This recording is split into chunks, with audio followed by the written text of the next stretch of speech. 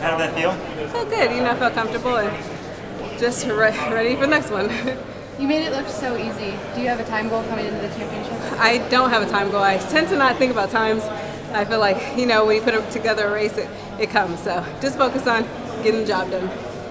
In the 400 versus the 2, is a very different, you know, pain tolerance? I mean, do you dislike the 400 as a challenge or? It's not my favorite, um, but it's just an experience thing, you know, just putting it together and getting more comfortable. And the decision to do the 4 versus the 2, is some of that trying to kind of maybe get them to change the schedule for you?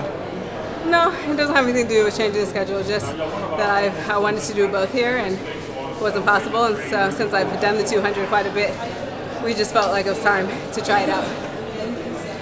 Good luck. Okay, thank you.